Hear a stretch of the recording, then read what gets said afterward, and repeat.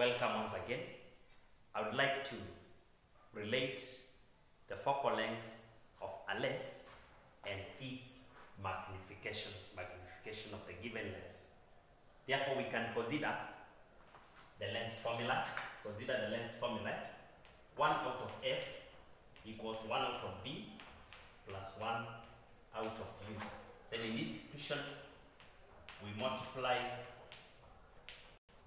with all sides such that this side multiplied by v becomes v out of f equals to v out of v plus v out of u. v out of u.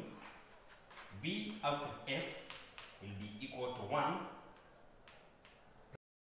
plus, remember according to definition, magnification is given by v out of u. This means instead of v out of u, we can have magnification.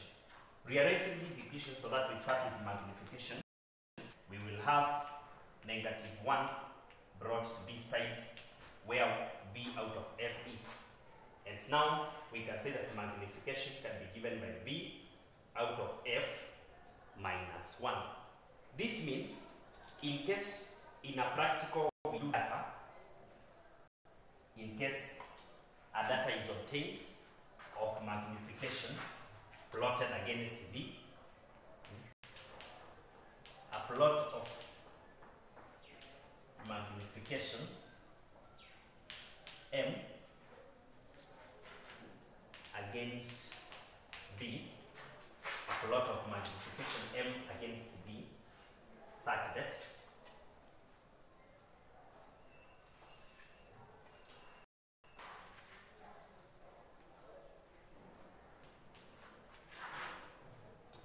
magnification is on this side and V is on this side and V is on this side. We will obtain a straight line. We will obtain a straight line. We will obtain a straight line.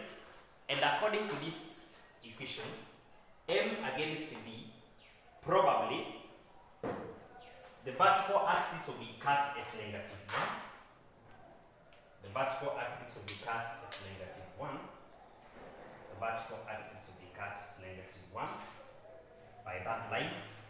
And now the gradient, eh, the gradient of this line, the gradient, change in M a change in V. Change in M out of change in V, the slope will give us V. The slope will give us the reciprocal of f. So because v is the component in the x-axis, comparing this equation with the equation of a straight line, we are seeing that m, which is gradient, gradient sometimes called slope, in this case, the coefficient of v, which is our x, will be 1 out of f. And we can say that for this graph, the slope, which is change in m out of change in v, gives us 1 out of 1 out of focal length.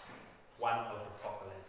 So in case magnification is plotted against image distances, then in such a case we will talk of, according to this comparison here, and in relation to the equation of a straight line, y-axis is carrying the component magnification and in the x-axis we have v.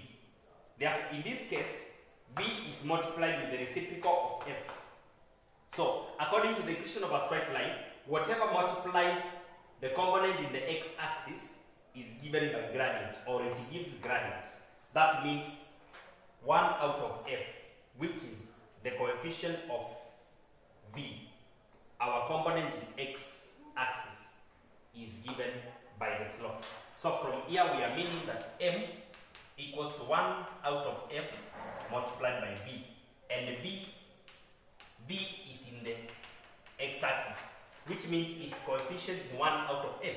That means we can get the slope and that one related to 1 out of f, then f can be obtained from such a graph.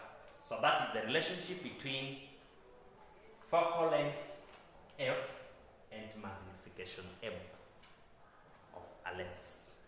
Thank you for following. Kindly subscribe to and share the link. Thank you.